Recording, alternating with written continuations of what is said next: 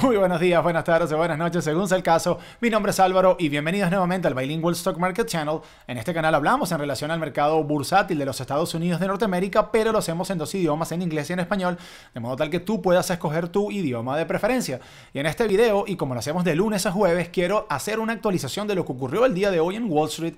Hoy estamos al lunes 12 de abril del año 2021, así que quiero desglosar desde un punto de vista técnico el Standard Poor's 500 y el Nasdaq 100 que son los índices bursátiles más importantes del mercado bursátil de los Estados Unidos de Norteamérica. Y también quiero mostrarles algunos trades que cerré durante la sesión de bolsa del día de hoy y ya hacia el final del video voy a estar desglosando desde un punto de vista técnico las tres acciones que van a estar en el tope de mi lista de seguimiento para la sesión de bolsa del día de mañana que vendría siendo martes 13 de abril del año 2021, no se asusten, así que vamos a empezar. Fíjense, el día de hoy básicamente tuvimos un día flat en los mercados, pese a que el Standard Poor's 500 alcanzó un nuevo precio histórico más alto. Sin embargo, el Standard Poor's 500, y ya lo vamos a desglosar desde un punto de vista técnico, cerró a la baja un 0.020%, prácticamente flat. El Dow Jones también cierra a la baja 0.16%.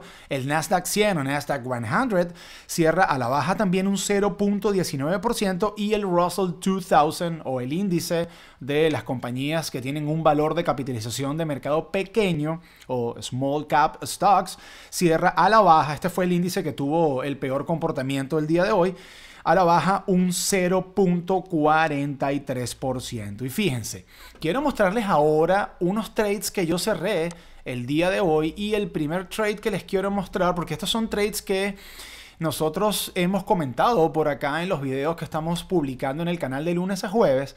Así que les quiero mostrar un trade que cerré esta mañana con Alibaba. El símbolo ustedes ya lo conocen, sería BABA. Y en el caso de Baba, fíjense ustedes, yo les he comentado en muchas oportunidades, ok, esto se discutió por acá en los videos que nosotros hemos publicado recientemente hablando de Alibaba en relación al soporte muy importante que para Baba implican los 225 dólares por acción. Entonces yo compré 50 acciones de Baba el pasado día viernes a un precio promedio de 224 dólares con 2 céntimos, ¿ok? Y terminé vendiendo esas acciones el día de hoy a 237 dólares con 3 céntimos. Esas 50 acciones, este fue un trade que me dejó una ganancia de 651 dólares. Resulta y acontece que a Alibaba se le impuso una multa por, digamos, un desempeño monopólico en China, pero el CEO, el director ejecutivo de esta compañía, salió a hablar y dijo que esa multa que les habían impuesto de 3 o 4 billones de dólares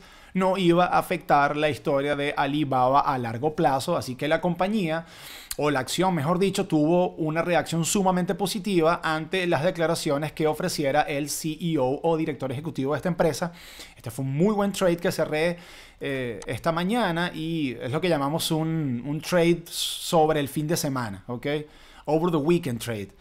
Y otro trade que también se comentó por acá en los videos que estamos publicando en el canal sería Spotify. Creo que de hecho yo hablé en relación a Spotify el jueves de la semana pasada. Les indiqué, ojo con Spotify a 275 dólares. Ese era el precio que yo estaba buscando en el caso de Spotify para tomar un trade.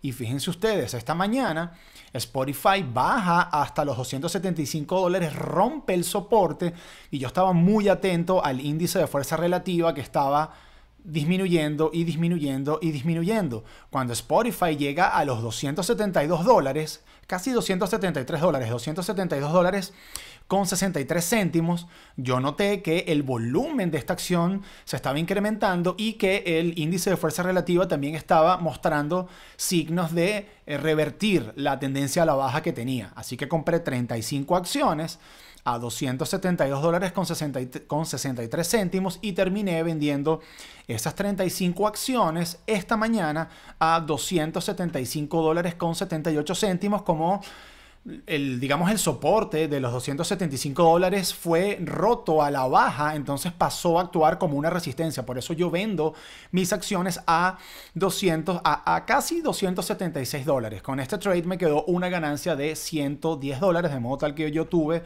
en la mañana del día de hoy una ganancia total con estos dos trades de 720 dólares. No me puedo quejar, fue una mañana sumamente productiva para mí. Ahora vamos entonces a revisar el Standard Poor's 500.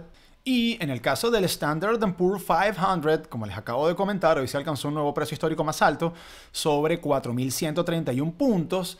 Y voy a buscar por acá el gráfico de una hora porque ya yo no les quiero seguir hablando de que este índice se va a venir a la baja, lo cual podría pasar, pero también estoy pensando en la posibilidad de que los alcistas o los bulls del Standard Poor's 500 puedan conseguir un poco de consolidación durante los próximos días o semanas por arriba de los 4.100 puntos. Eso también podría ocurrir y de eso ocurrir, ello implicaría que las líneas de promedio de movimiento simple estarían jugando a ponerse al día con un posible proceso de consolidación de este índice ligeramente por arriba de los 4.100 puntos. Si se llegara a producir un retroceso de este índice, entonces el primer nivel de soporte importante para los eh, bulls serían los 4.086 puntos que ya actuó como un soporte en una oportunidad y también como una resistencia.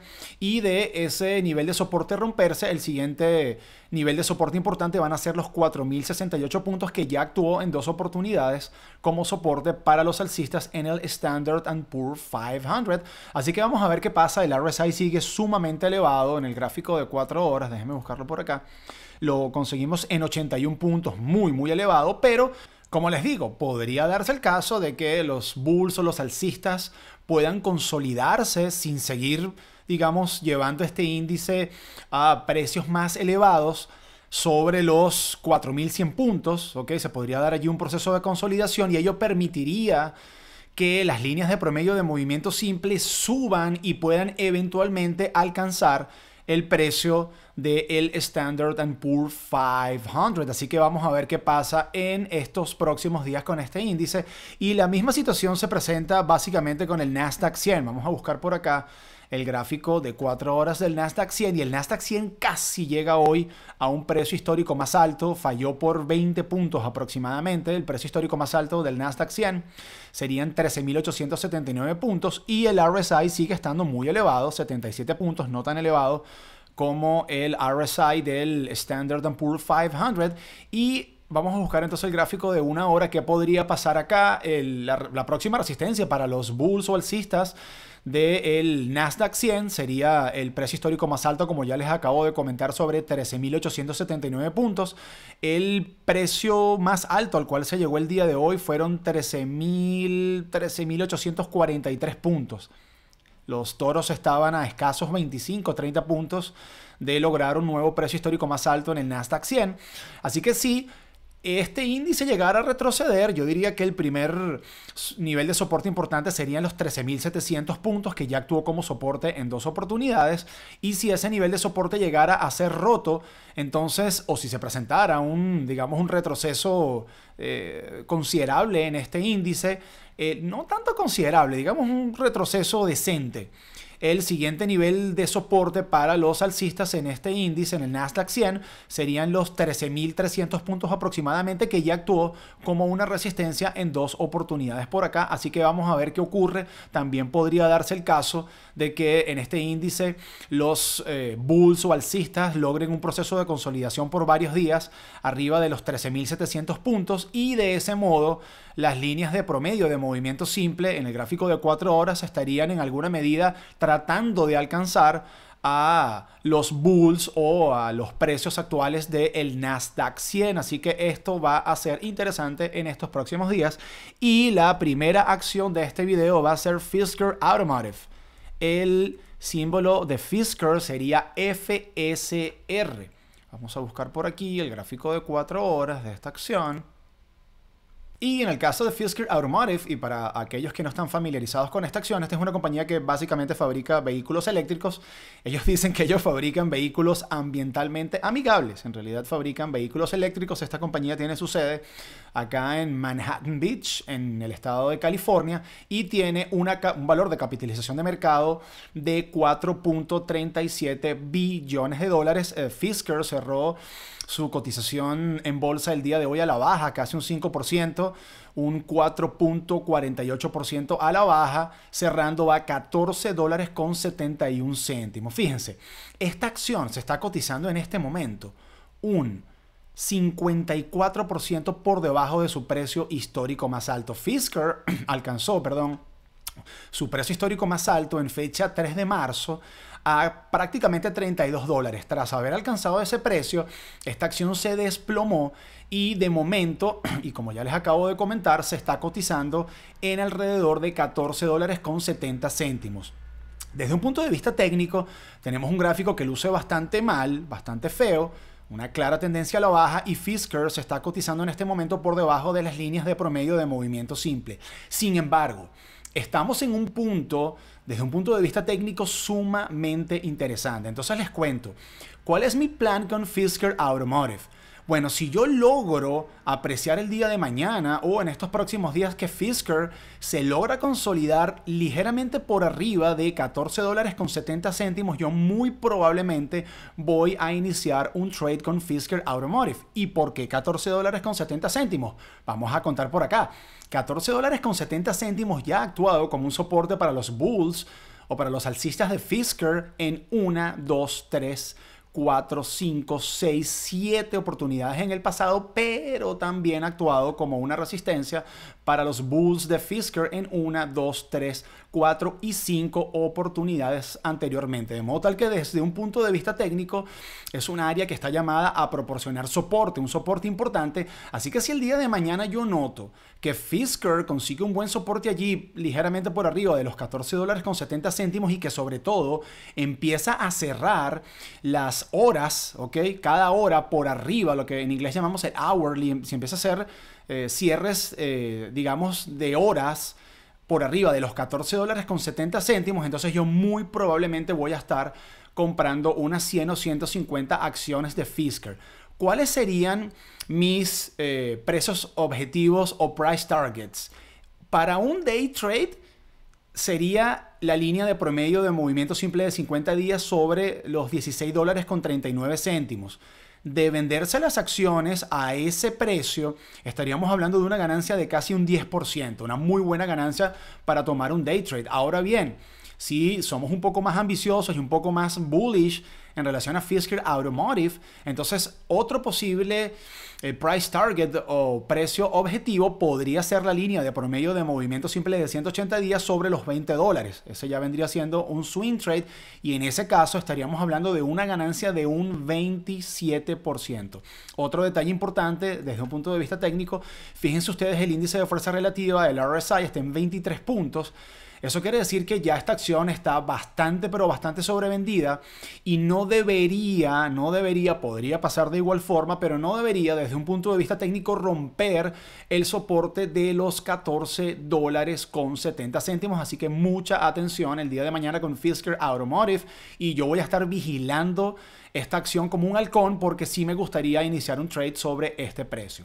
Y la segunda acción de este video va a ser SOS. SOS Limited. Esta es una compañía china, déjenme buscar por acá el gráfico de 4 horas, aquí está. Y en el caso de SOS o SOS Limited, esta es una compañía china que ofrece tecnología y soluciones para los servicios de rescate en China. Esta empresa fue fundada en el año 2001 y tiene su casa matriz, su cuartel general perdón, en la ciudad de Qingdao, en China, y es una empresa con un valor de capitalización de mercado bastante modesto de apenas 530 millones de dólares.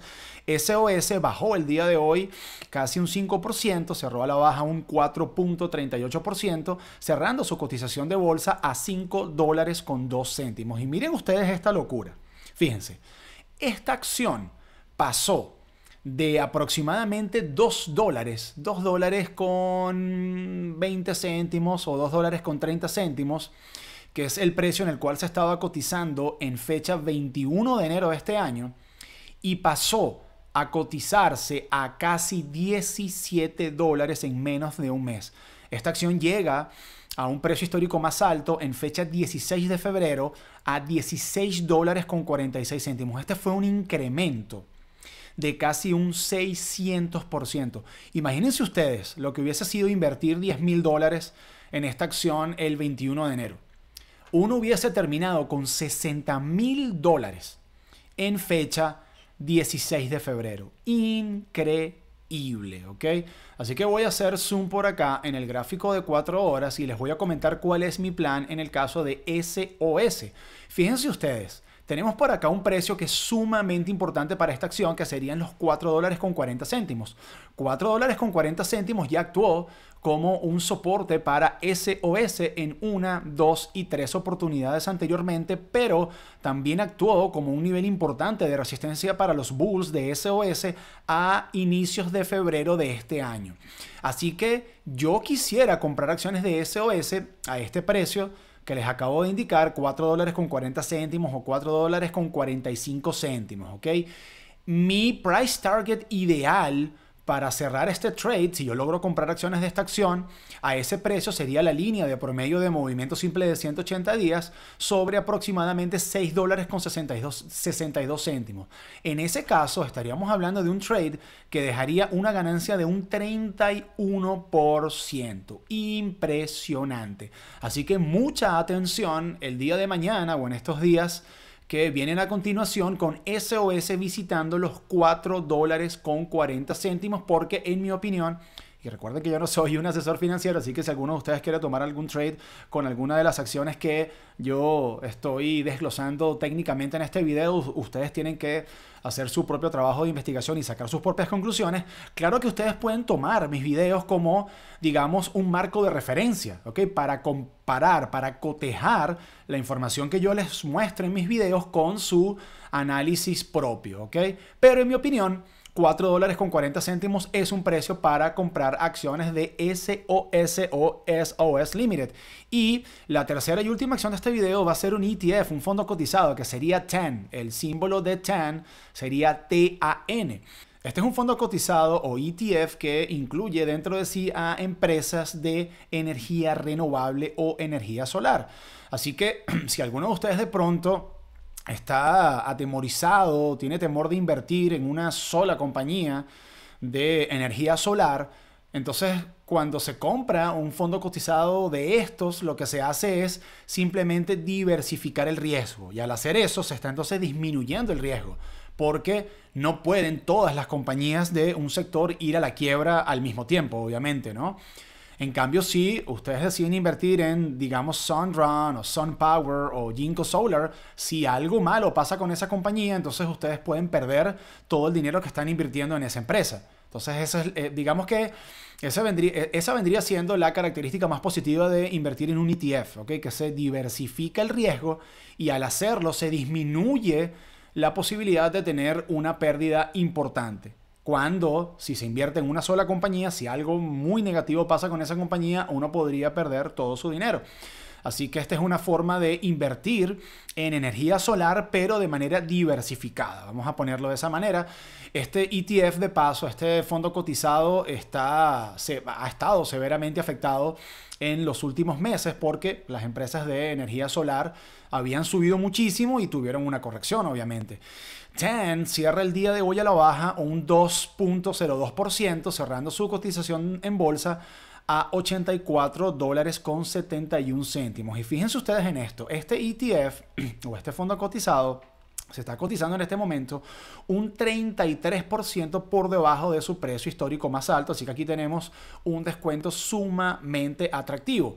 ¿Cuál es mi plan con TAN, okay, con este fondo cotizado? Yo voy a comprar acciones de este ETF sobre 81 dólares con 40 céntimos o algún precio cercano, ¿ok? Fíjense ustedes, 81 dólares con 40 céntimos ya actuó 81 dólares con 20 céntimos, también podríamos decir, ya actuó como un soporte para este fondo cotizado en una, dos, tres, cuatro y cinco oportunidades en el pasado y también actuó como una resistencia para los bulls o alcistas de 10 en fecha esto fue el 11 de septiembre del año pasado. Así que estamos en presencia de lo que podría ser un nivel de soporte sumamente importante para los alcistas de TEN. Y fíjense ustedes en este detalle. El RSI de este ETF está en 36 puntos. Entonces, ¿eso qué quiere decir? Esta acción cierra su cotización de bolsa el día de hoy a casi 85 dólares. Si TEN llegara a retroceder y llega a visitar los 81 dólares, como les acabo de comentar, 81 dólares con 30 céntimos, el RSI o el índice de fuerza relativa va a estar aún más bajo.